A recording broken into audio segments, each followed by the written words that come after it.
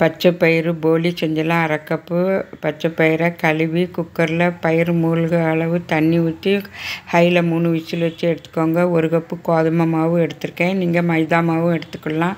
ஒரு பிஞ்சு உப்பு மஞ்சப்பொடி தண்ணி விட்டு நல்லா பிசைஞ்சிக்கோங்க. சப்பாத்தி மாவோட கொஞ்சம் லூஸாக பிசைஞ்சிக்கோங்க. மூணு டேபிள் ஸ்பூன் நல்லெண்ணெய் விட்டு ஒரு ஒரு மணி நேரம் அந்த மாவு ஊறட்டும். இப்போ சிறுபயிறு வெந்துட்டு அதை இப்போ இருத்து எடுத்துடலாம்.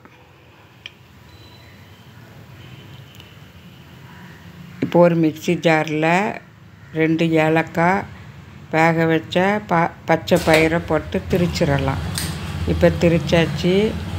கடாயில் ஒரு கப்பு நாட்டு சக்கரை போட்டு நல்லா அந்த சூட்டில் இலகிரும்.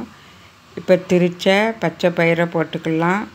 பச்சை பயிறு தண்ணி ஆயிட்டுனா பூரணம் கிண்டதுக்கு லேட் ஆகும் அதனால் இந்த பக்கத்தில் வேக வச்சு எடுத்துக்கோங்க. ஒரு கப்பு தேங்காய் போட்டுக்கோங்க. அரை கப்பு பாசிப்பயிறு ஒரு கப்பு நாட்டு சக்கரை ஒரு கப்பு தேங்காய். இப்போ பூரணம் கிண்டியாச்சு. ஒரு அரை டீஸ்பூன் நெய் விட்டு உருண்டையாக உருட்டி பிடிச்சிக்கோங்க. இப்போ எல்லா உருண்டையும் உருட்டியாச்சு.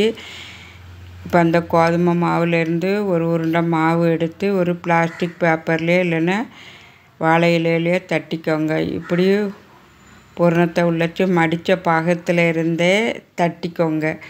மாற்றி தட்டுனீங்கன்னா பூர்ணம் வந்து வெளியில் வந்துடும் இப்போ கல் கீட்டாயிட்டு போலியை போட்டு எடுத்துடலாம். ரெண்டு பக்கமும் சுட்டம்பரவு நெய்யோ நல்லெண்ணெய் விட்டு வேக வச்சு எடுத்துக்கோங்க. இப்போ பச்சை பயிறு போலி ரெடி. அடுத்த போலியும் ரெடி.